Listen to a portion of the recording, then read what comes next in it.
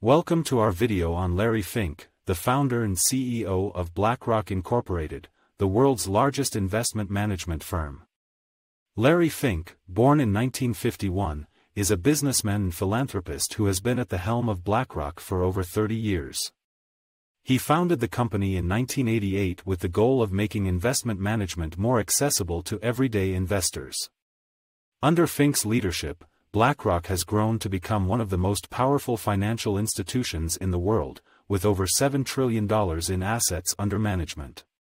The company offers a wide range of investment products and services to clients in more than 100 countries.